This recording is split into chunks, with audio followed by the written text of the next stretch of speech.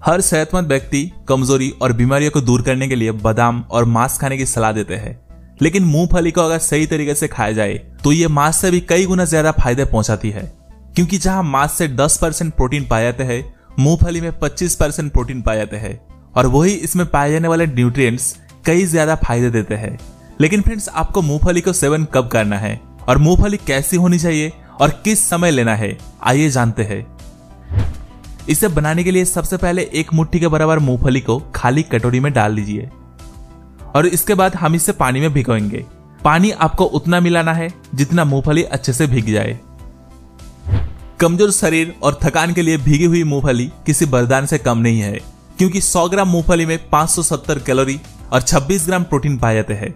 और साथ ही साथ इसमें पाए जाने वाले फैट और दूसरे न्यूट्रिएंट्स शरीर में मांसपेशियाँ निर्माण करने के लिए बहुत फ़ायदेमंद है। साथ ही साथ फ्रेंड्स, रात को भीगी हुई मूंगफली खाने से पेट से जुड़ी हुई हर तरह की बीमारी दूर होती है। और इसी के साथ साथ अगर आप गैस, कब्ज और पेट में बनने वाली एसिडिटी से परेशान है तो ये भीगी हुई मूंगफली आपको इन सभी प्रॉब्लम से छुटकारा दिलाएगी।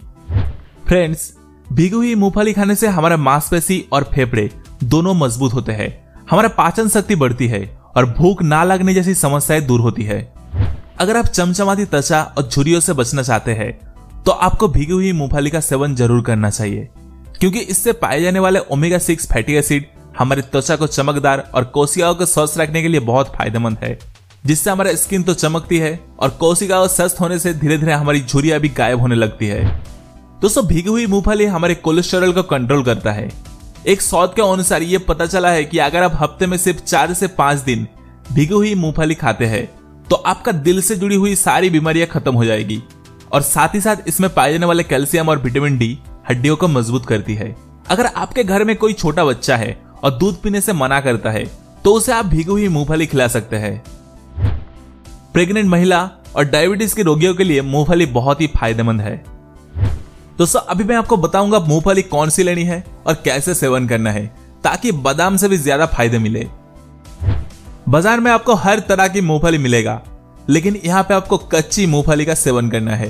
आपको लाल छिलके वाली कच्ची मूंगफली लेकर आनी है। एक कटोरी के अंदर भिगो कर रख देना है। इसे रात भर भिगो कर रख देना है। सुबह उठ के आपको इसे खा लेना है। आपको मुट्ठी के बराबर मूंगफली को रात में पानी में भिगो कर रखना है और सुबह उठ के खा लेना है। आपको इसका इस्तेमाल रोज़ाना करना है। खाली पेट आप इसे खाए और फिर देखिए इसका बहुत सारे फ़ायदे मिलेगा और कुछ दिन लगातार खाने से आपको बादाम से भी ज़्यादा फ़ायदे मिलेगा। आज की जानकारी फ्रेंड्स यहीं तक थी।